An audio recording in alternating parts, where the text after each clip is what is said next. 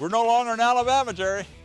No, this is big country. It's wide open. Woo-wee. Today we're going to be hunting with uh, Scott and Angie Denny in uh, near Douglas, Wyoming. Uh, they, they, run an operation known as Table Mountain Outfitters, and uh, they hunt about 100,000 acres or some ridiculous number of acres, you know. And uh, but when you get out here, you can see a lot of acres at one time. Yeah, today's show is all about you.